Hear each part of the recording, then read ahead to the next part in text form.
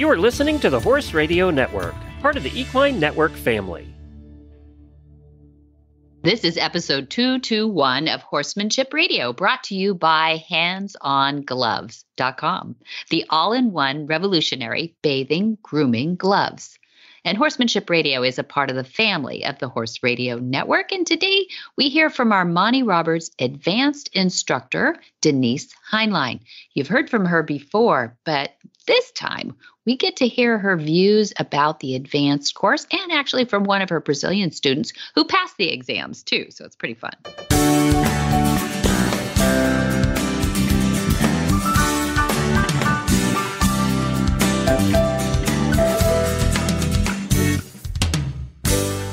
This is Debbie Loucks, and you're listening to the Horsemanship Radio. Thanks for joining us. Horsemanship Radio airs on the 1st and the 15th of the month, and I have my producer, as always, Jen, with me today. Hi, Jen.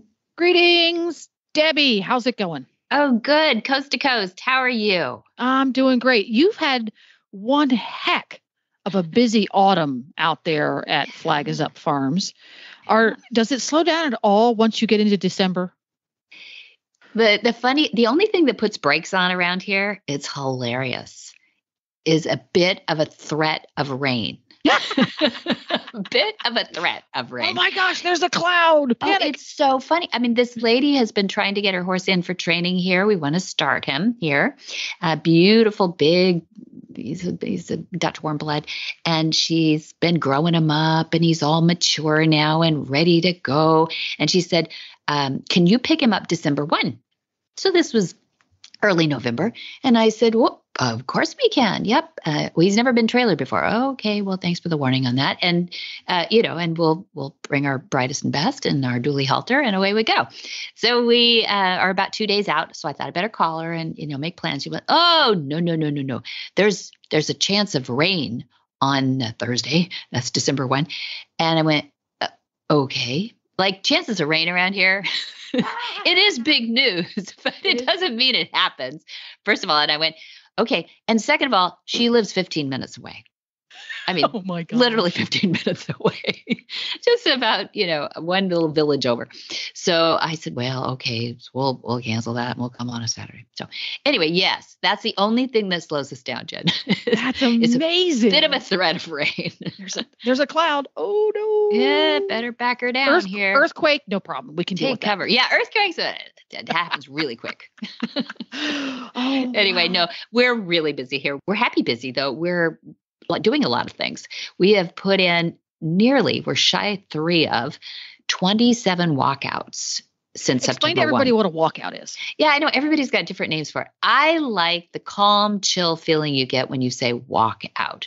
Now, some people call them run ins, and that always makes me nervous. Mm-hmm. So what we did was we took and retrofitted our stalls or barns that have the typical 12 by 12 we have nice tongue and groove, beautiful barns built and everything, but they have no hole in the back. So we put holes in the walls and we built extra tall doors and we tacked on oil field reclaimed pipe. They're big, beautiful pipe that is usually tossed away after the oil companies have put it out there for a while. And they are sturdy and wonderful and our gorgeous welder Garrett has made magic out there and 12 by 24 and they can play lip tag over the So, so, what, we have social what you did was you have this lovely 12 by 12 stall that's attached to its very own personal personal pizza size paddock. that's good yes Is that kind of how it works? Yeah. Exactly. And those are up against each other.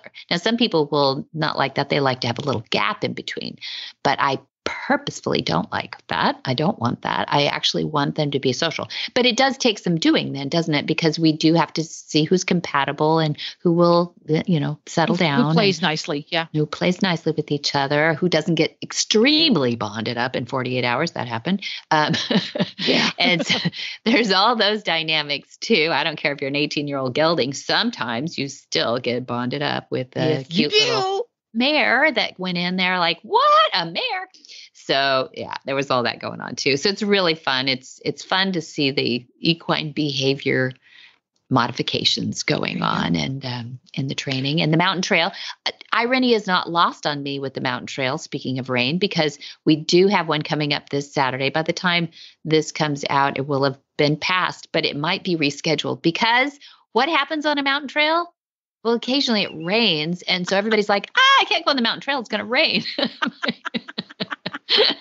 Irony. So, uh, yeah, that's that's us Californians. Sorry, don't tease us. There we go. See, here in Florida, that type of accommodation is typically called a run out. Okay, run out. Yeah. So I've heard run ins, run run out is better, I guess, Mhm. for me. But I kind of like them to walk out. yeah, there you go. Walkouts. Okay. So so that way the horse has better movement, he has better socialization. uh-huh. He's got better fresh air because he's not in an enclosed area where we're going to have harmful things like dust and ammonia building up. Exactly. Yeah. Yes. How many about how many stalls have you converted into this system? Yeah, 27. Well, there's Wow. three stalls left that have a few little odds and ends to do on them, but 27 is what we um, will finish with, at least for now. That's the first phase, and uh, and that's uh, that's actually underestimating our buildings because two of those buildings have at least 10 stalls converted. Actually, 21 if I totaled the two buildings converted to loafing areas, lounging areas, lying areas. People call those things different things too, where we put this thick matting, stable comfort matting in there, and though and no food and no water. It's outside. So these are in herd dynamics where we've got a couple acres attached to those, and they're turned out in six or eight uh, groups. So there will be geldings and mares in different areas, and that's a that's another way we're using the buildings too. So we we Pretty talked cool. yeah, we Very talked cool. about that at the movement, and we'll talk more about it as the years go on because we're starting to get a lot of curiosity about those too. Oh, So we have- speaking of the movement, we haven't talked Mhm. about that for a minute. For somebody who wants to tune in to what happened at the movement this year or in previous, where do they go to find that? You're so kind. Thank you. Yeah, we do. We filmed them all. And if you go to montyroberts.com, montyroberts.com, so M O N T Y, there is a, let's see, how do we put it? Online lessons, outreach, shop. There is a Vimeo on demand. I think it's under shop. If you put it in the search bar and put Vimeo in there, yeah, they're they are filmed and uploaded to a Vimeo site. And I think the trick is I think they're nine ninety nine for the entire thing though. I mean you get to see the whole whether it was the live weekend, streaming. yeah. Yeah. it's a whole yeah, three days. So uh, yeah, it's a pretty good deal if you couldn't make it to the I highly recommend coming live and in person Yeah. to the movement. But if you can't do that, then they can go back to the archives and and see the Vimeo on there. So the, the easiest way to find the 2022 version is just go to montyroberts.com and in the Mhm. top right hand corner under shop, there's a drop down menu and you just drive down to special events and it's right there. There it is, DVD and streaming. Thank Yep. you so There you go. much. So check Yep. that out. It's got all kinds of great stuff in it, all about Monty Roberts methods and Equus you know, Online University, but it also has a little tour of all of the great upgraded facilities that you're putting in Mhm. there under the California Horse Center. Yeah, California Horse Center, because we're not just thoroughbreds anymore. Flag is Up Farms is and always will be our legendary, iconic, original 1966 farm.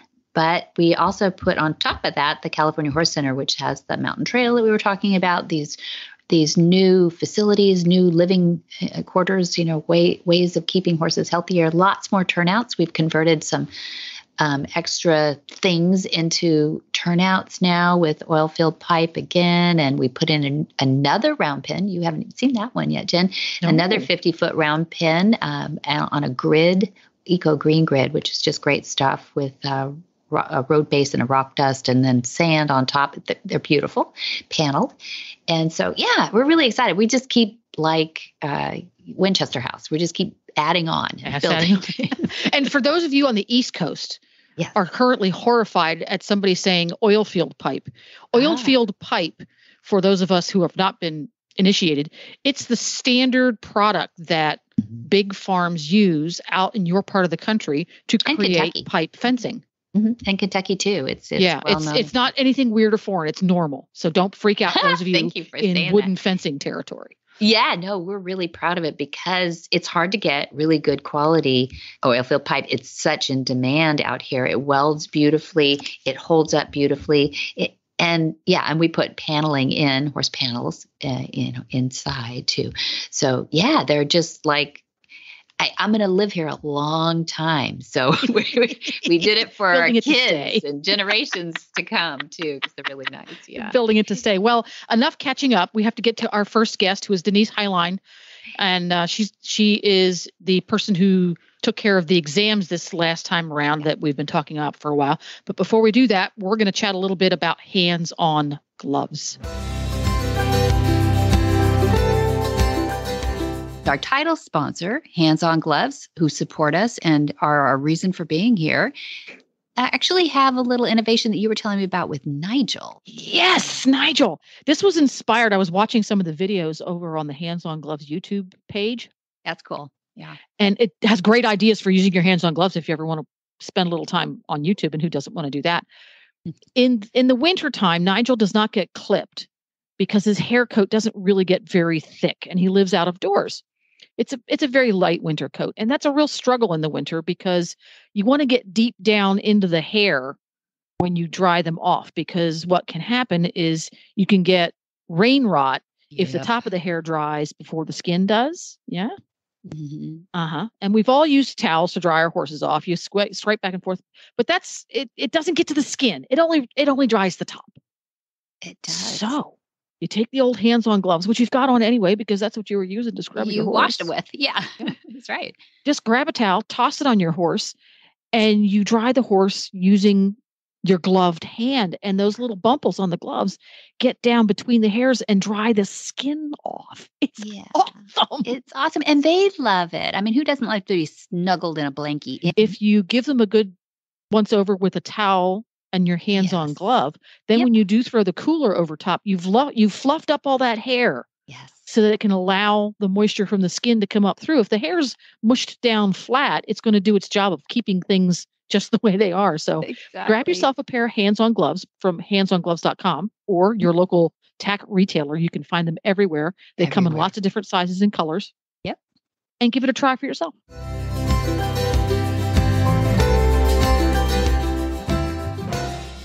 Denise Heinlein has loved horses since she was five years old. She's traveled the world training horses and has settled in California as a specialist in teaching students to gentle horses and to help horses overcome phobias and remedial issues. After teaching classes and courses in Germany and getting a lot of experience in the thoroughbred industry, she is teaching now at the Monty Roberts International Learning Center. But wait, update, she's also creating the Monty Roberts Learning Center Europe.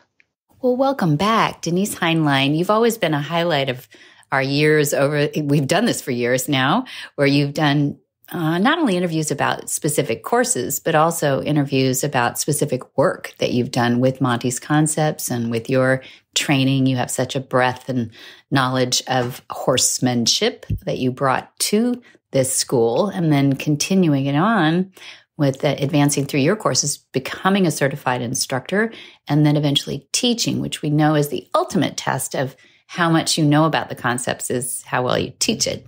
And you are at the top of Monty's system of teaching. And so we're really excited. And we're going to come back and probably talk a little bit about what you're going to do in Europe. We've got some great plans there, but let's cook those a little bit first and see how far we get. And then we'll, we'll do an interview about that too.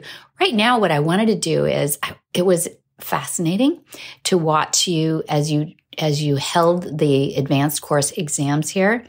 We had some nervous students. We had some excited students and we had a cross spectrum of horsemanship, probably as broad as, as you've ever seen, I would think. Um, tell us a little bit about the breadth and depth of the horsemanship that came in there. For how many students did you have? I had seven students from all around the world again, which is always so fascinating to see how Monty's concepts bring in this pool of people who are like-minded and want to have, you know, the best what they can give back to the horses and especially to their countries of, you know, better the horsemanship there. So that was lovely to have everybody back to want to go on in our education. I think like the advanced exams, these are challenging because we ask our students not to necessarily repeat or copy any of methodology.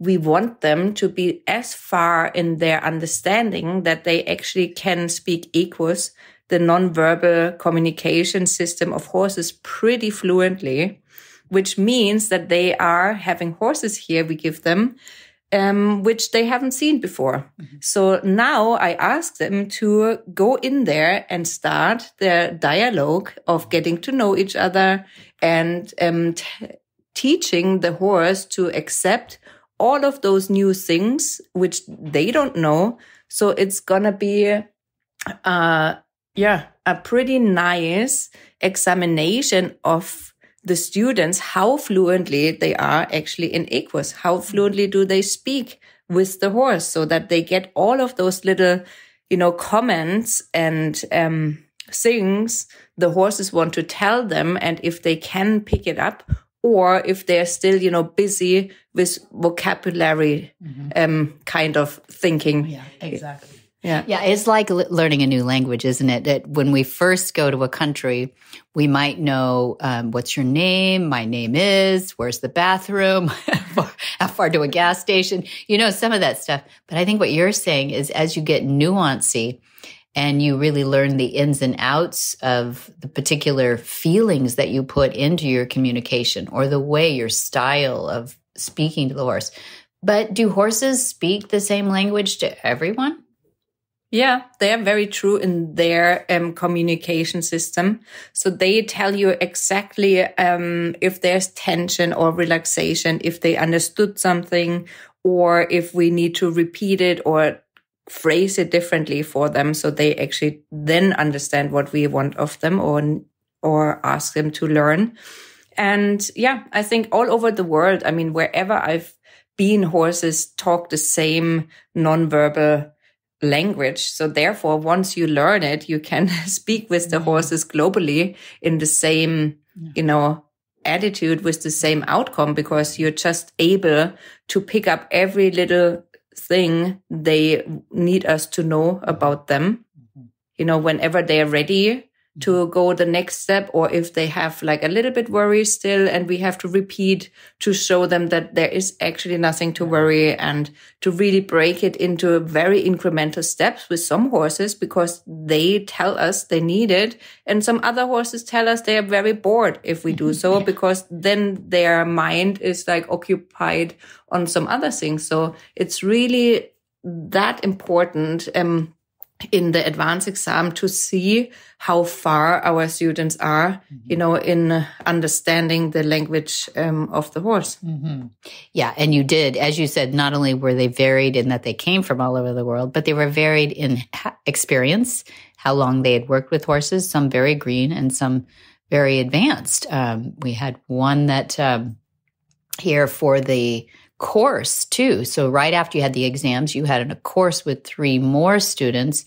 One guy had won um, a makeover, you know, with I think feral horses, Mustang horses, like, um, and and it is fascinating to watch how you teach each person to read the horse. I think probably that's even from a, a standpoint of somebody who doesn't know much about horses could listen to you and understand that you're teaching people and we're all just people carnivores reading a horse but teaching to read the horse. So now that we've got the advanced exams under our belt what happens with those students? They are hopefully going back uh, to their countries on their places to practice more you know? So it means like they should keep their ability to talk and um, be with horses like very up to date. So instead of going home and be happy that they, you know, got the first um, yeah. tick off the box by um, passing or not passing the advanced exam. They should continue to practice and, and work with horses. At the end, they are our best professors because they are really fluent. It's natural to them to speak their own language. And therefore, the more time we spend with them, the better we get in the dialogue to speak with them. It's the same for me when I'm here in America longer, I get better in my um, English or with speaking English. And then when I'm back home and I don't practice or I don't have to speak for a long time, I'm get really rusty at it. So I assume it is almost the same as we speak like a gesture in nonverbal communication. No, other way around. There you go. Now I thought German and it messes my mind up. but yeah, so I think um, to go home and practice more, that's the key factor to go and get as good as you can and then come back um, where we have our internship program where they learn how to teach those concepts. And you can only teach what you know. Mm. And um, this is a little bit the fact if you don't know what you're missing you don't know and therefore yeah. you need to be out there you know yeah. to get all of the experiences that once you you have made this experience and you know what you're talking about yeah. this is then how you can transport it into your teaching and tell people where they have to make like kind of fine little nuances. Mm-hmm. Um, and yeah, that's so this is what important. they're yeah very important and this is what you send them home with is please please go home find horses to practice with and practice your language yeah exactly practice practice equus so, what would you say their strengths and weaknesses are? What would you like to see them practicing besides just being around horses and, and working with them? What what did you tell these particular people to work on? What did they focus on?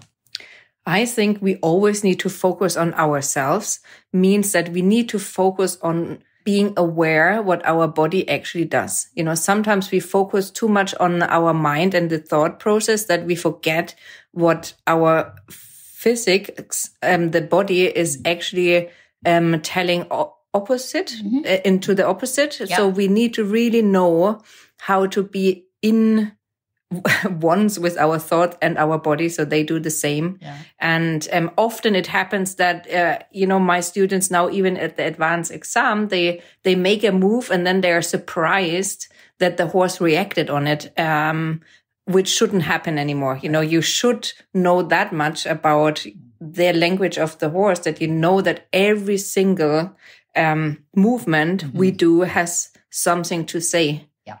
Yeah. And um, so that's number one to really be aware of their own body language. And if they are, you know, having rough movements, they need to learn how to um, get very nice and soft with it. Doesn't mean that's slow, but it's just a way how Monty always says to move as you would be in heavy oil with, or like flow, flow like Tai Chi, yeah. everything like mm-hmm. kind of controlled and, um, you know, in place.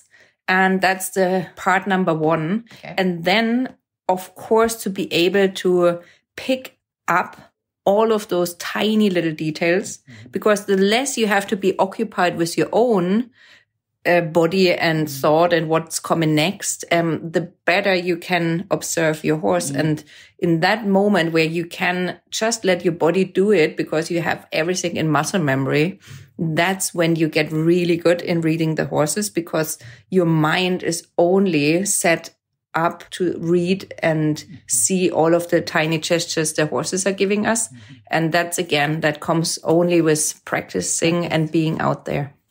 That's it. Like, I don't have to think when I drive from here to the grocery store, I don't think much about my skill sets behind the, the wheel, right?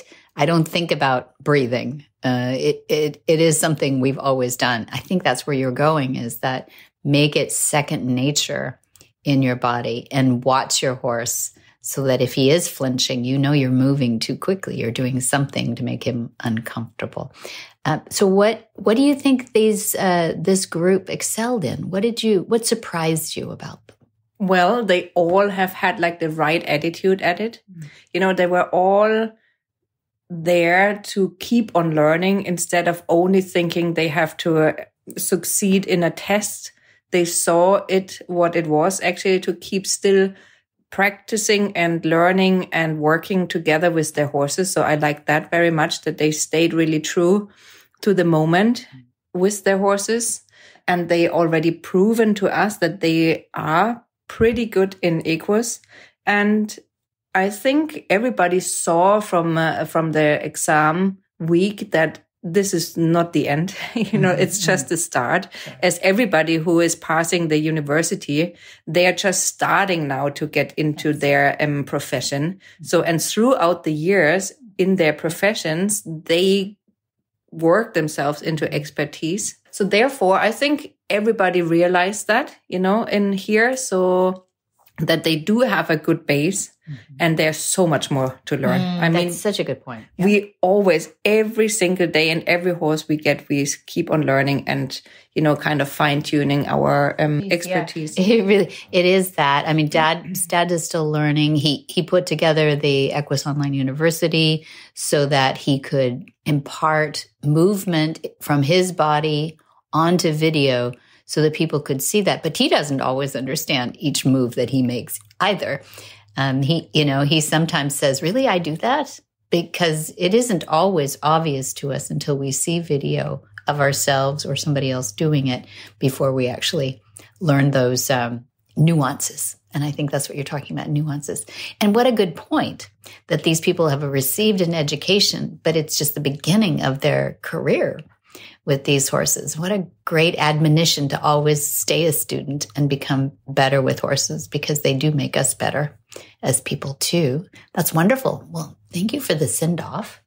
Yeah, my pleasure. Thank you for um, having me here again. And yeah, I'm looking forward, you know, to see them all come back and, um, you know, being an intern and keep on learning and keep on getting better. I think they will. Thanks. Definitely. Thanks, Denise Heinlein. Thanks for joining us on Horsemanship Radio.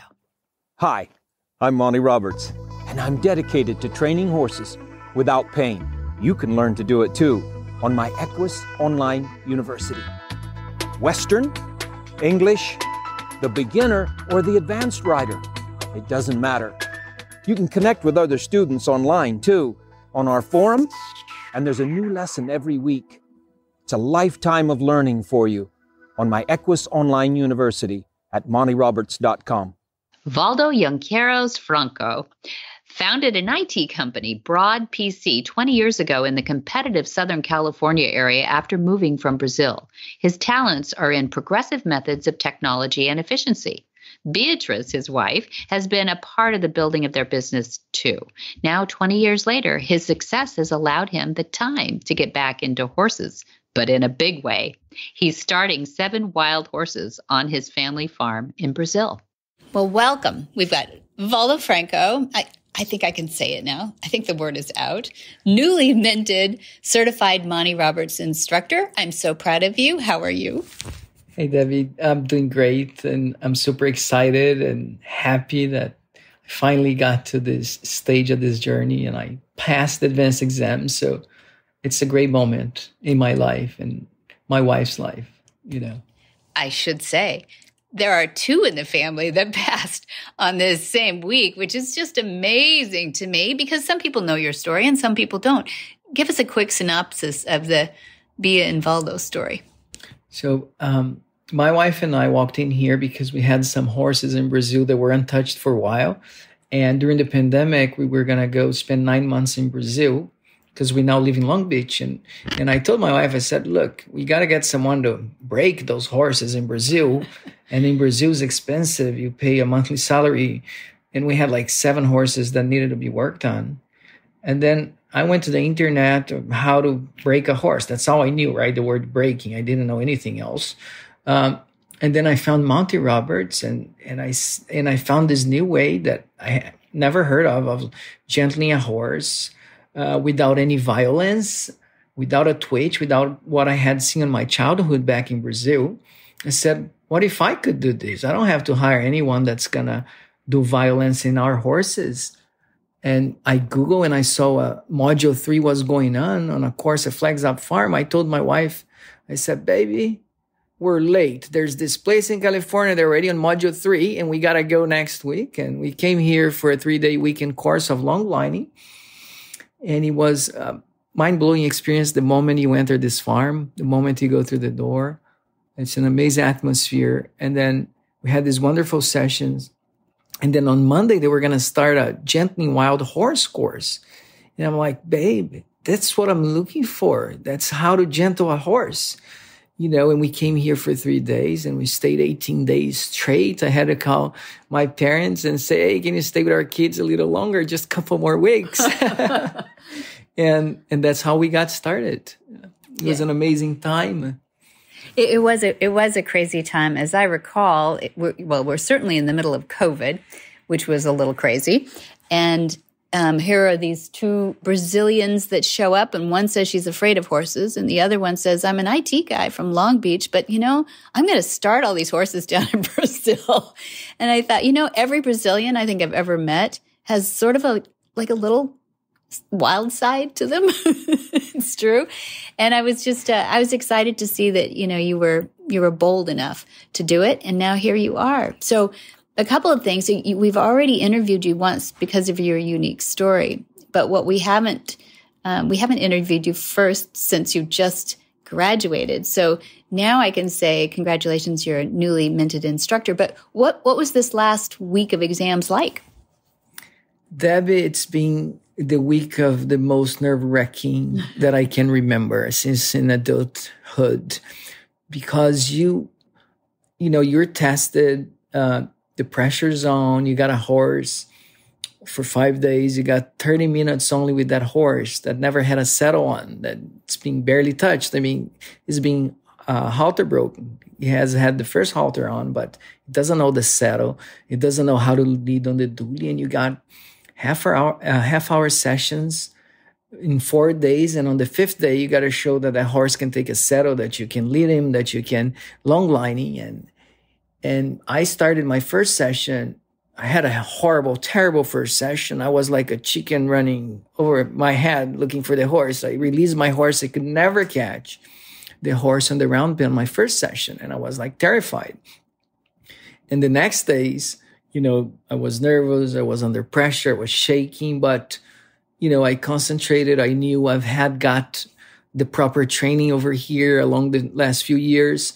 Um, I just used the concepts I learned.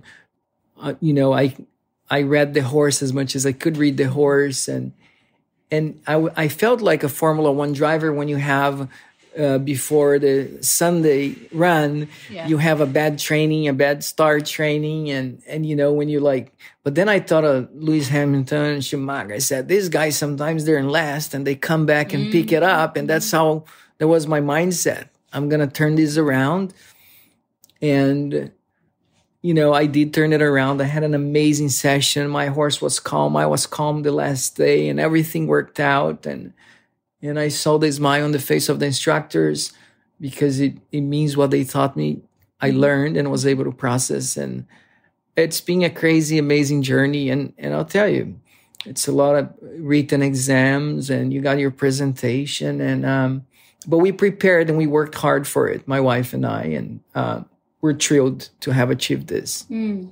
Well, you should be. It's rare air. I like to tell people that certified instructors um, are hard to come by. People who know us know that there are very few in the United States. Now you're going to go off and be in Brazil, we lost you on this one. But um, there are very few in the United States. I think it's because number one, a lot of people hold on to tradition, don't they? And that's, it's hard for people to lose that from their muscle memory if they were raised with traditional methods. So compare what you think you've heard about traditional methods in the United States with what you've seen in Brazil. So, um, I mostly have seen traditional methods in Brazil, right? I've seen, in fact, during my childhood, and I moved to the US when I was 19 years old, I only saw the use of whip to make a horse run. I've never seen anything unlikely that until I came to Monty. So the first thing you learn here, you never use a whip. There's no need. There's no need for force. One thing I remember when I was a kid at my grandfather's farm or ranch uh, is that I remember one time they're using this wooden pole with a little rope at the end, which was called a twitch. and I remember they're twitching the horse um, front lip, front mm-hmm. lip, and um, and that didn't look good. And I remember I saw once in my childhood, and I remember to this date that scene, and you know, coming here and learning that. In fact, what I want to do is bring that to Brazilian uneducated cowboys of ranches and farmers and show them, look, you can start a horse another way. You don't need a whip. You don't need a twitch. You don't need violence. Mm-hmm. And you know, you, it, with these concepts I learned here about pressure and release, about stimuli, and like when the horse relaxes, you take the pressure, the stimuli away. You know, I was a bit scared of horse because you know it's been it was so many years I wasn't using horse on a you know monthly basis or something, but once you learn that the horse is not out there to, to get you, he's just scared. He sees a new balloon, he's scared. He sees you mm-hmm. for the first time, he's scared. You're going to touch him, he's scared. He thinks your hand is going to kill him. He thinks that the rope or a balloon is going to kill him. And once you start showing, look, let me show the balloon, now I take it away. Let me show you again, now I take it away. And eventually he gets the habituation. Okay, it's just a balloon. It's not going to kill me. Mm-hmm. And, and a lot of people have no idea that all the horse is doing, he's terrified. He thinks it's a snake. It's going to bite them. Mm-hmm. It's just because, uh, like Monty, uh, taught us, a horse is neophobic. Mm-hmm. Anything new to the horse, yeah. Eh, they think it's out to get them. They have and to be afraid. And once you show them, because they're flight animals, the first thing they have to do is run, then assess. Is this danger? Is it not danger? That's right. And uh, those are the things I learned. And one of the most important things I learned is that the horse are into pressure animals. You know, like when they say if they're going to a narrow door and they bump on the door, the next time they go in, they bump into they bump into it a lot harder because they're into pressure animals. Because that's how they did when an animal in the past uh, bite their flanks. They would lean to the animal instead of instead of running. Because if they ran, they would open their flanks open, yeah. right? So that's where it starts the the into pressure, right? Um, from so all this learning is very interesting. You know, you you press the horse with your leg, he's gonna lean to your leg, so you can use a uh, tool like the topo to teach him to move away from pressure. Mm-hmm. Um, so it's all about the pressure release and the picnic, right? Yeah. Um, Positive instant consequences, negative instant consequences. That's good. You've learned your lessons well. Obviously, you've passed your advanced exams, uh, written and um, practicals out in the gentling pen. Tell us a little bit about that gentling session that goes on out there. You know, the, the gentling, then it's not, in my view, it's not as pressured as your starter. Because not only you're working on a team, the pressure is not only in you, mm-hmm. it's at least in two people. Our group, we were in three. So, first of all, the pressure is in three. And as a team, we can always go further. So, that's how it's been in my business career. As a team, I think the gentling sessions was were more relaxed. I had fun because I love to start the horses. That's why I came here in the 1st mm-hmm. place. Um, and the pro- and the progress and how the gentlers teach you because it's one wrong move.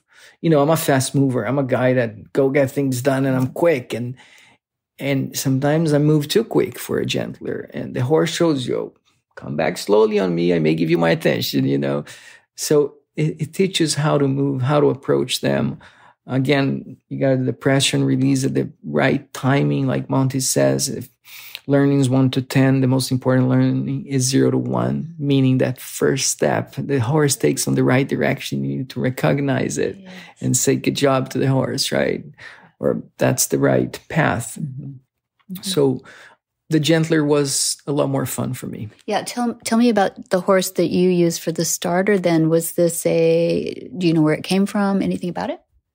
The horse I used uh, came from maybe it's Oak Three uh, oh, Rescue Center. It's a rescue center, yeah. Oakdale. Mm-hmm. Um, so Oakdale, that horse had been beaten on the front of their on of his face of her face. Mm-hmm. Uh, it's a ten year old. Um, this mare was like beaten pretty hard. He's got a huge, huge scar on the face, and and because of that, you could not touch her head. You could not grab her on the halter. So on the first day. No wonder I couldn't catch her on the round pen, and and I had a hard time on, to catch on the stall. But then I used a lot of pressure release and a lot of rubbing and rewarding for her to be near me, to let me touch her head, and and at the end I could catch her. She joined up with me beautifully. She, you know, I gave her some quality time at the end of the session, and she came to me and and I go to the stall. She walks into me now, and I can go to her head straight as well. So it was a wonderful experience with that horse. She didn't know how to turn to the side I wanted her to turn, and she learned. And it's a very smart horse. It's mm-hmm. unbelievable. Um, I, I want to take her home. Yeah. Everybody says that. We have more quarantine horses that way. um, yeah, so we had a class. Uh, this class was seven. We had one from Hungary, two from Germany, one from England. Uh, our instructor was from Germany, and Simon from South Africa, actually, originally. Who am I missing? And, and two from Brazil. And, and let me talk about your instructors. What a wonderful journey. Simon's a great guy. Denise is a great girl. Like they're great instructors. They support you along the way.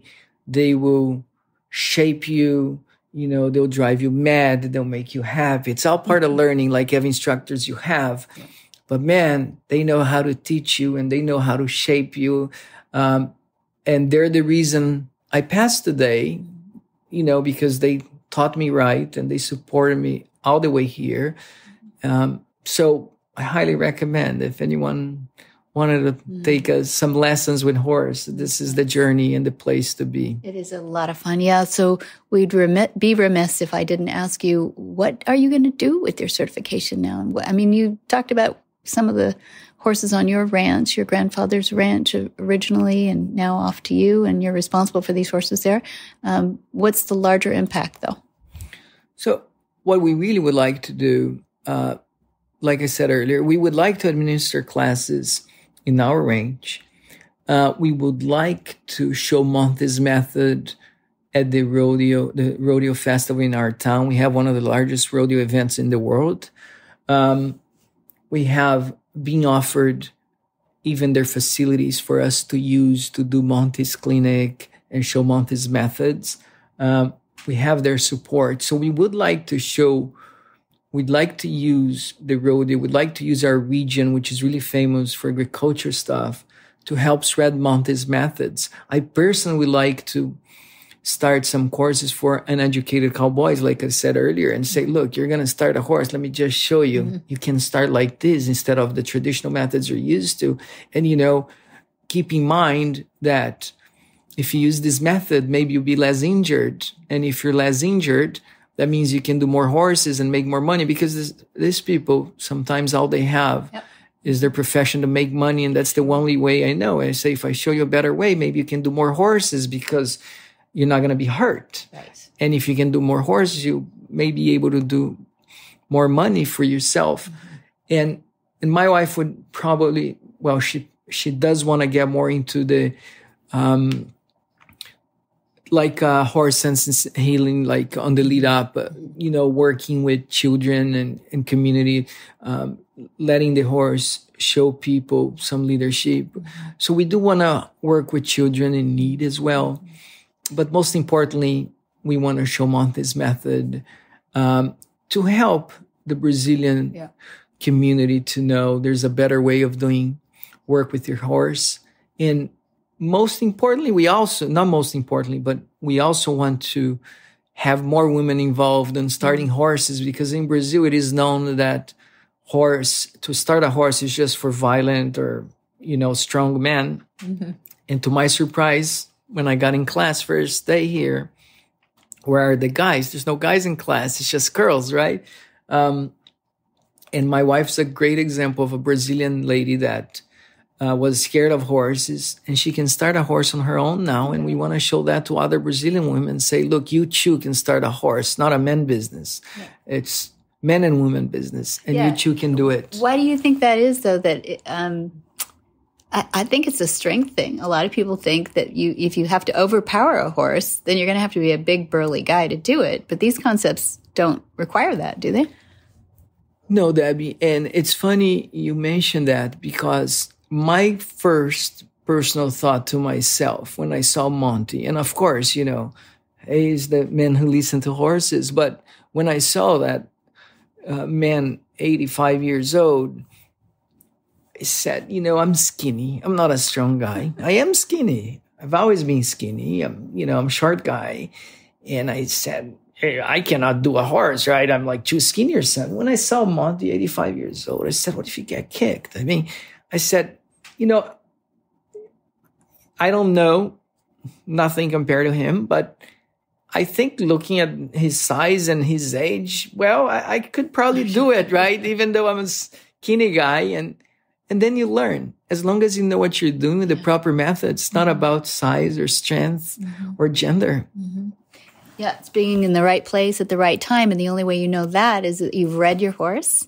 Um, your pulse rate is low, so you're not making mistakes where you're you know, got that glazed over look. And it's the same with horses too. I think the more relaxed we are, certainly the horses sync with us, but I think they're more confident too when you're confident. Yeah. Yeah, absolutely. You know, horse will sync with you and you have to be calm. And, and I'll tell you during my session, some days I was shaking. I was extremely nervous. And when I went to the last session with, I wasn't nervous of whatsoever. I, I don't even know how I was so calm. I'm not usually that calm in my life, but when I did connect with that horse and I went in calm as it was no big deal, I was worried about the horse. What does he need? We connected so well and everything went amazing in my view. Mm. Well, that's exactly why I think and everybody else probably listening to this podcast think that horses are therapeutic. They actually reflect so much of what we either need or what we're doing and demonstrating. So we're so happy to have you. High five. Thank you, High five for for all the things that you're doing. Not only being a very smart person who's going to go down there and build a a nice uh, repertoire of talents and abilities to help influence those people. But you do, you, you are um, in the midst of the biggest rodeo, um, the Barretos. Yes. Um, and we're, we're really excited how many people you can influence by showing, just demonstrating the concept. It doesn't take much convincing once horses are honest, aren't they? They can't tell a lie. So when you see a horse go from fractious to calm and following up, it's amazing. And I don't think, anybody thinks they can fake that very well, right? I agree. I couldn't agree more. And, and my study material is one of the things that Monty says let the horse do the talking. Mm-hmm. You know, uh, people may not believe you, or if you tell them they should do something different with their horse, instead, just let your work, let the horse shows your work, and they'll come to you. Whisper the language of the herd. Listen, you don't have to say a word. It's time for Jamie Jennings to fetch an email from Monty Roberts' inbox and share a morsel of Monty's wisdom in a little segment we like to call Ask Monty. Leave this world a better place and learn the magic in the language of the herd. Dear Monty, why do you dislike single line lunging? Monty's reply. It is my strong belief that single line lunging is the second worst piece of horsemanship on earth, second only to striking a horse to produce pain. I know this is a bitter pill for many people, but if you consider the matter properly, you can only conclude that I am right. In demonstrations, I consistently show how horses that have been single line lunged for significant amounts of times are truly habituated to a pattern of travel that is injurious to mind and body. Every horse that is single line lunged for more than 30 days or so will travel with its head to the outside of the circle. This one act sets the pattern for complete anatomical malfunction. Once the head is outside the circle of travel, the spine must then take a curve opposite to the circumference of the circle on which the horse is traveling. When the spine is curved inappropriately, then the pelvis attachment and the shoulders are acting in an uncoordinated fashion. What this means is that two main muscle masses of the horse's anatomy are working one against the other, while they should be assisting one another in harmonious effort.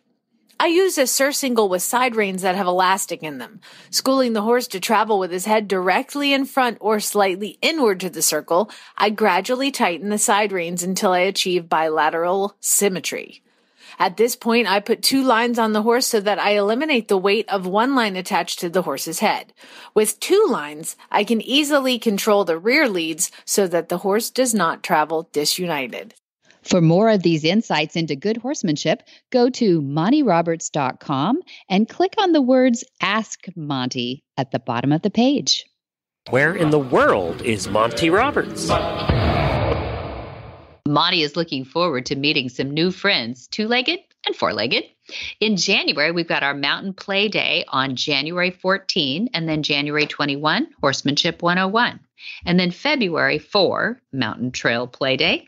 Then February 6 through 10 is our Gentling Wild Horse class. So that's five days. 13 through 25 will be the introductory course of horsemanship, and then that'll be broken up into modules. So 13 through 15 is module one, first steps to Monty's methods. 16 through 18 is the module two, which is join up.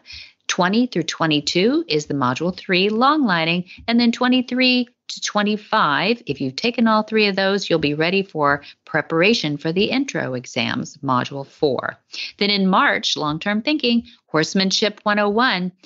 That's March 11th, and we are very full right now in January with Horsemanship 101. So if you don't get your slot on January 21, I think there's only a slot or two left, then sign up for that March 11th Horsemanship 101.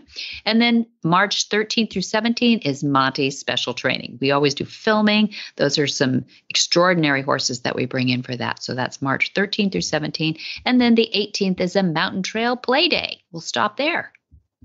Woohoo! And you can find mm-hmm. all of this and more on the website, montyroberts.com. And by the way, this here podcast is also available at montyroberts.com. It's right there on the homepage. Just scroll down a little bit. You can also call Flag is Up Farms and speak with a lovely, intelligent, knowledgeable human being at 805 688 6288. And for details about today's show, you can go to montyroberts.com, as I said. You can also go to horsemanshipradio.com. There you're going to find links, photos, and more information about today's guests and topics. And if you haven't done so already and you haven't, shame on you, you need to join Monty Roberts on social media, his Facebook page, hey. Monty Roberts, the one with the little blue check mark. On Twitter, Monty is Monty underscore Roberts, and the same for Instagram. Mm-hmm, that's true. And many thanks to our sponsors too. That's handsongloves.com and then montyrobertsuniversity.com. Both are my favorites. Uh, I'm loving them.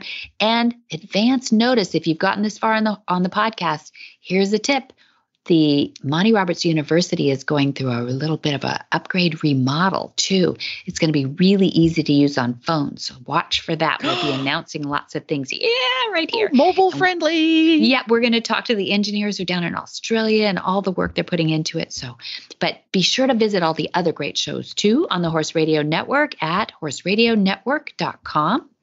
And until next time, have many happy horse hours.